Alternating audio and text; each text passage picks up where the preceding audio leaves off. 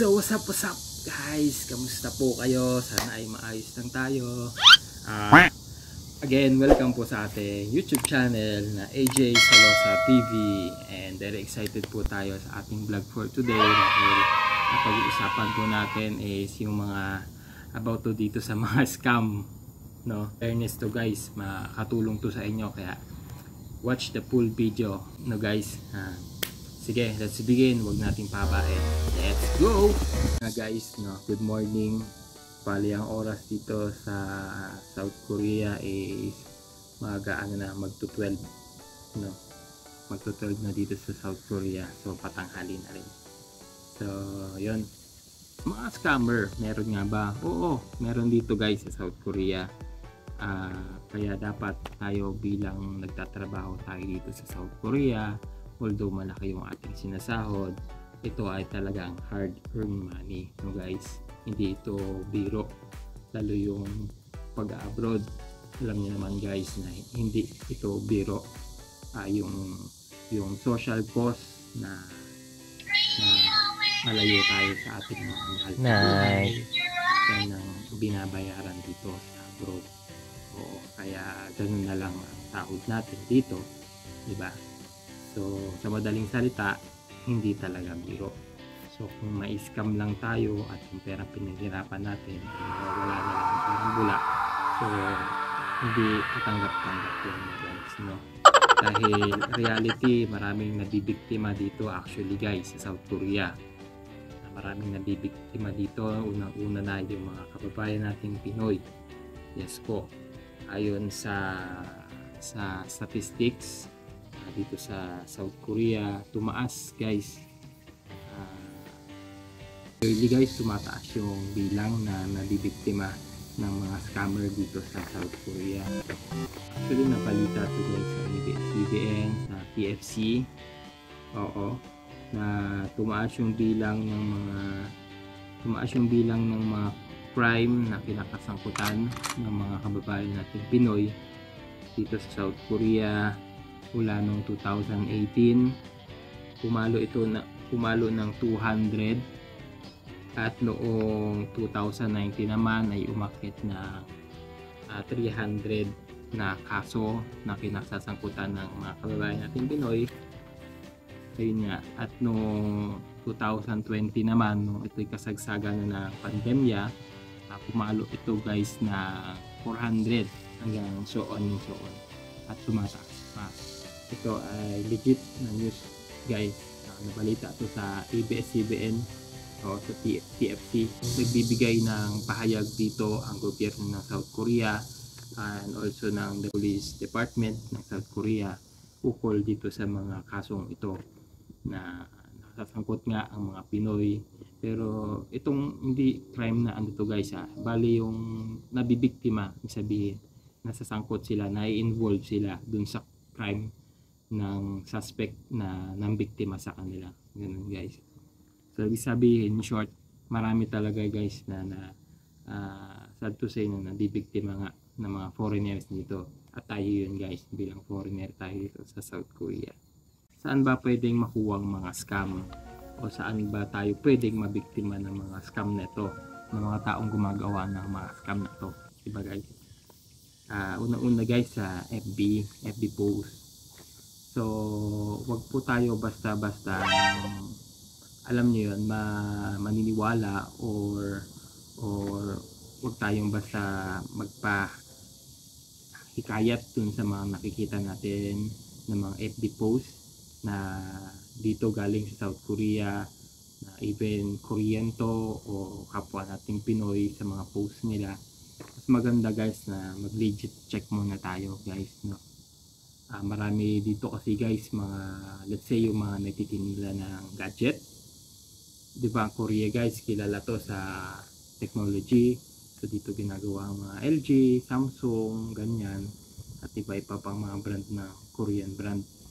Oo. So, dito guys sa South Korea, sa mga FB page dito, FB groups or mga posts, marami dito mga seller ng cellphone, ganyan. Isa may mga page sila na nagbibenta sila ng mga gadget. At na pag nag-inquire ka doon, syempre ang guys, ang tendency nun kasi guys dito sa South Korea, pag pag nag-inquire kayo ng phone or bibili kayo ng cellphone or any kind of gadget, bali kailangan nyo i-provide yung lalo kung ito'y tech B, hindi ito cash, hmm, kailangan nyo, i- kunyari, installment, kumbaga guys, installment kayo, 6 months, ganun, 1 year, kailangan nyo i-provide sa kanila yung ARC nyo, tapos passport, tapos yung bank account nyo, yung passbook nyo. Siyempre nakalagay dun yung number ng yung bank, bank, diba? So, yun, hihingiin sa inyo yung guys. So, kung ito ay hindi legit, pwede ito kasi gamitin guys sa kalokohan na na talamak dito sa South Korea guys. Bali, ang ang tactic na ginagawa nila dito, yung tactic nila is gagamitin nila yung identity, identity mo.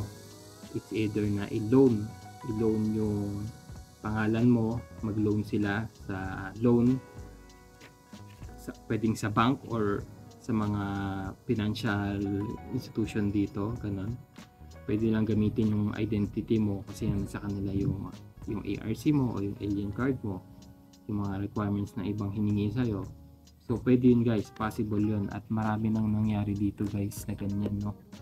Hindi na bago yun dito yan sa South Korea. Marami na tayong kababayang Pinoy na nabik na biktima at nagdudusa sila na nagtatrabaho sila ng ilang taon na nagbabayad sila sa utang na hindi naman nila inutang.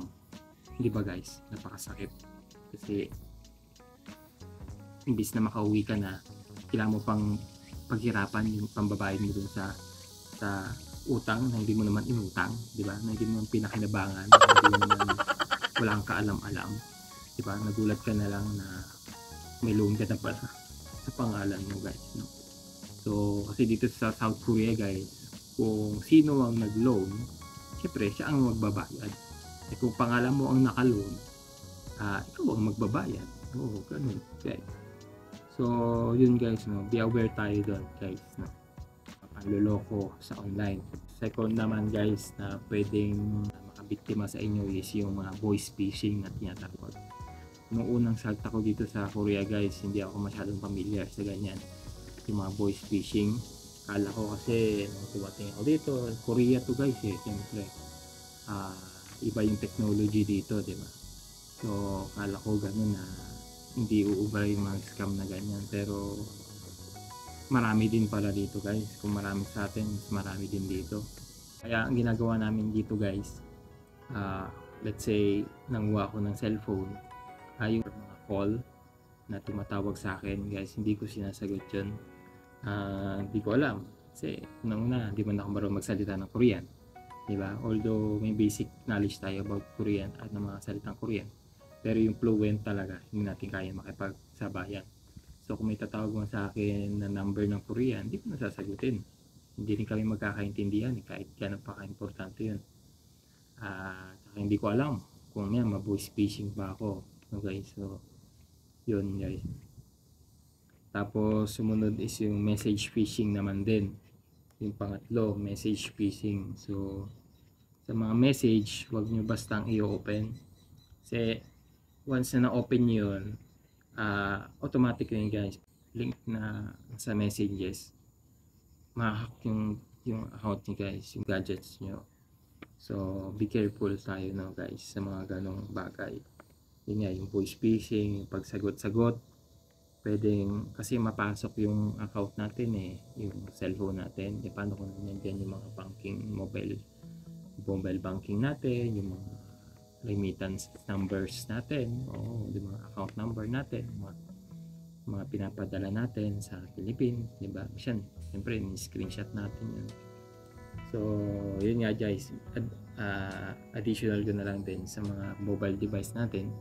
Huwag kayong nag stock ng mga screenshot ng mga remittances nyo o yung screenshot na ARC nyo screenshot ng bank account nyo at passport nyo, yung mga importanteng mga documents natin guys, kailangan may privacy yan. So, yun. Kasi pag once na-hack yung ating gadget guys, yung cellphone o yung account natin, ah, pwede nilang ma-access yan yung mga ganyan mga, mga importanteng mga identity natin guys. Tsaka dagdag ko na rin yung download ng application. Kahit saan to guys, kahit hindi dito sa South Korea, ingat kayo guys sa mga pag-download ng application kasi may mga application guys na nagpapanggap lang na legit application or may function yung application na yun na kailangan mo. So minsan guys, may virus or pwedeng mahack yung phone mo. Yes guys, kasi nangyari sa akin yun guys. May download akong application tapos, yun na guys, may nag-hack na ng aking ng aking account, yung Facebook account ko. Buti na lang yung misis ko is uh, na-open niya yung aking account. So, naagapan niya kahit ako'y nasa trabaho. Nagulat siya kasi nasa trabaho ako. That means na hindi ako pwedeng gumamit ng cellphone. Tapos, yun, na-detect niya na may gumagamit ng account ko. Oo, may may gumagamit ng account ko. Kaya na-detect niya na na-hack yung aking account. So, agad-agad napalitan naman ng misis ko yung aking password. Kaya nagapat. So, be aware tayo na guys.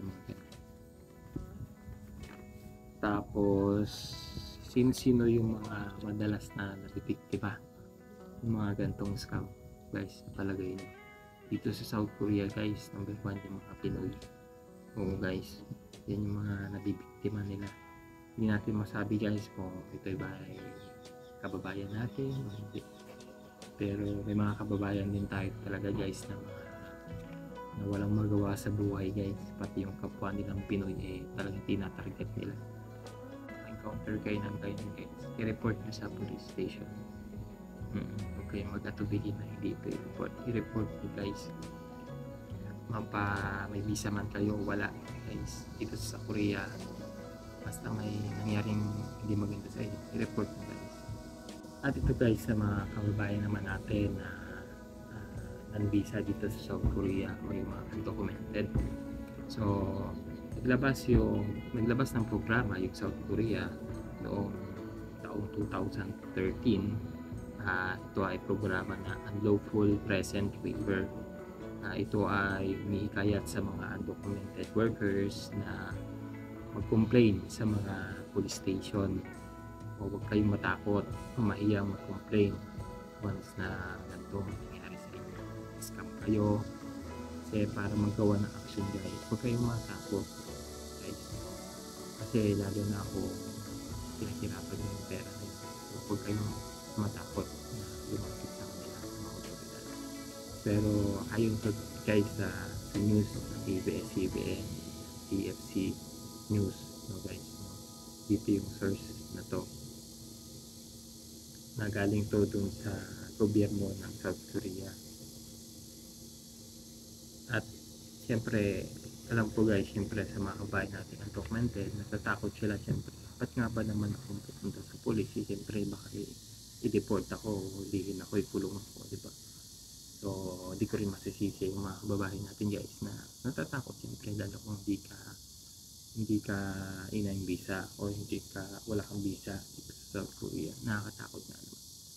So ang masabi ko na lang guys talagang doble ingat po tayo. May visa ka man o wala kababayan kababayan ka pa rin namin. So pag ingat po tayo talaga. So yun nga ingatan. Ito guys ha, yung mga dapat yung tandaan dapat yung mga ingatan pagdating nyo dito sa South Korea. Unang una guys yung ating ARC number 1 yun guys. O yung ating alien card.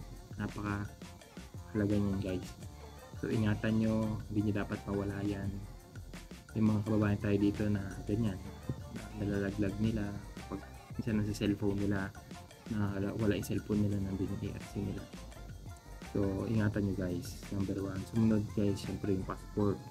O guys hindi kayo makakauwi na wala kayong passport although makakauwi naman kayo basta lalapit kayo sa labor at ng mga migrant people mga ganun. Makakauwi kayo guys kahit wala kayong passport. Yun nga lang syempre mahalaga guys yung passport. Kaya dapat nyo talagang ingatan yan. Diba guys?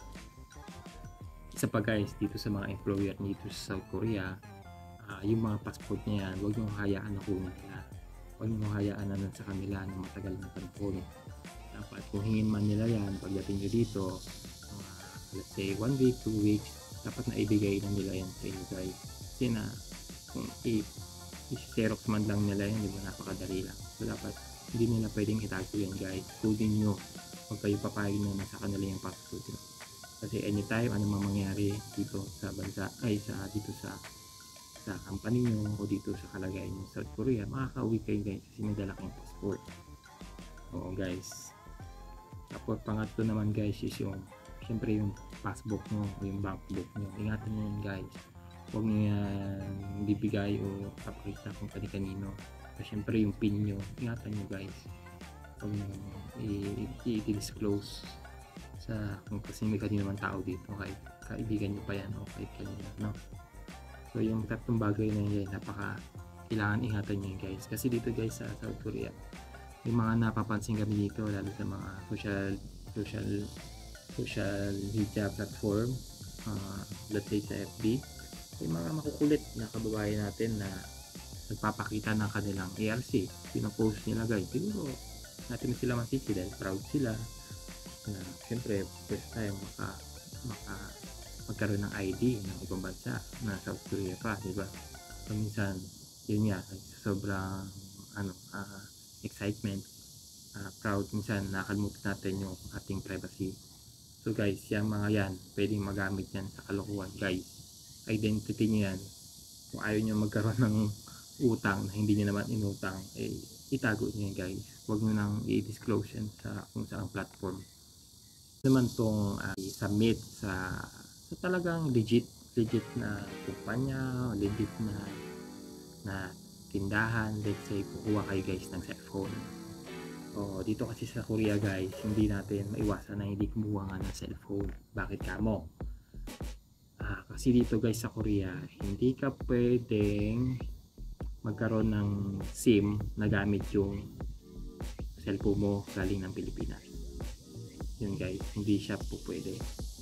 So pinala ko na rin yan dahil nga gusto ko makapagtipid. Sabi ko may cellphone naman ako galing Philippines sabi ko may cellphone naman ako. Ito ang aking cellphone Oppo. So ito na lang gagamitin ko. Ang gagawin ko bibili ako ng SIM. Dito SIM Korean SIM. Siyempre Korean number. At dito ko ipapasok diba para dito ko magamit. Although ito guys yung aking phone dito sa South Korea na Oppo gumagana siya. Kasi naka-roaming ako. Bali no yung number ko dito na smart hanggang ngayon yung number ko dito na smart is ayan uh, hanggang ngayon umaandar umaandar pa rin siya guys. Oo wait ah. ayan guys may signal. Oo umaandar pa rin siya guys. Kasi na roaming ko siya. Hindi katulad ng iba na hindi na nila nagamit or na-expire na yung nila kasi hindi naka-roaming. So akin naka-roaming. So nag nakakatanggap pa rin ako ng messages yung dating home credit na ano ko natatanggap ko pa rin naabot pa rin hanggang dito. Tapos yun nga balik tayo dun guys sa may sa, sa Korean number. So kailangan mo talaga guys required ka na kumuha ng phone dito kasi nga kailangan Korean phone sa Korean numbers. Korean numbers. Mm -mm. so no choice ako guys kaya ito nanguha ko ng bagong phone. Then okay naman napapakinabang ko rin naman siya kasi nga nagagamit ko siya sa pag vlog vlog kasi nga itong isa kong phone medyo malabo na rin dahil nga old na. So itong nabili kong Samsung na Jump 2 eh maganda naman at sulit sulit naman guys. Kasi itong nabili kong cellphone na to is may ano yan, may data na siya guys. So kahit saan ako magpunta kahit nasa labas ako may internet ako. Yun yung guys yung kagandahan na naka-plan ka oo. Cellphone plan. Dito sa South Korea. Tapos yun guys so yun nga kaya nga nasabi ko guys no hindi naman natin naiiwasan na hindi makuha ng kung anong pangailangan dito natin sa Korea gadget mga gadget ganyan. So sa isama ko na rin guys no para maging safe po at ay mga kababayan. Ito ay hindi sponsor no. Hindi ito sponsor ng kung sino man pero isasuggest ako na bilihan na talagang 100% legit guys dahil dito ako kukuha ng cellphone at wala akong naging problema. RC, passport, saka yung bank, bank passbook mo. Yun lang hihingin sa ID dito. Ito yun guys yung si pakita ko na lang dito. Yan, suggest ko. Yan. Kim Store, baka naman. Hindi. Hindi, mabait dyan si kaibigan. Kim Store. So, shout out sa'yo, Kim Star. Sa Kim Store. Yan. Yan. Legit. Legit yan guys. Naka, may physical store sila siya sa Daegu. Sa Daegu lang. Kaya sa mga malapit sa Daegu dito, yan. Kahit malayo naman, pwede kayo umorder sa kanya. Kasi tech B naman yan guys. So, i-deliver na lang yung yung yung in-order nyo within a uh, less than a week. Ganun. So, yun guys. Legit yan guys. Diyan ako kumuha na cellphone. Uh, Ika-plan yan. So, may plan sila. May one-time payment din. So, depende sa gusto mo. Yung mga latest silang phone. Yung mga uh, Say 4, Say 5. Yan. Yung mga flip. Mga fold, fold phone ng Samsung. Mga latest. At mga iba-iba pang gadget. So, yan guys. Lagay ko yung kanya Facebook page. So, kontakin nyo na lang si Mr. Kipstar Brightstar. So, yun guys, no. Tsaka kung kailangan nyo guys ng remittance, remittance application, yan guys, si Kipstar Brightstar is agent din siya ng SBI Cosmo Money. So, napaka convenient niyang SBI Cosmo Money guys. So, So check nyo yan guys na uh, mataas na rate yan dito sa South Korea guys. So kung magpapadala kayo, mas suggest ko si Keemstar Brightstar na agent then dyan sa SBI Cosmo Money guys. So napaka friendly user ng kanilang platform. At pag may problema kayo, uh, pwede nyong lapitan si Mr. Keemstar Brightstar at tutulungan niya kayo. Kagaya ng naging case ko.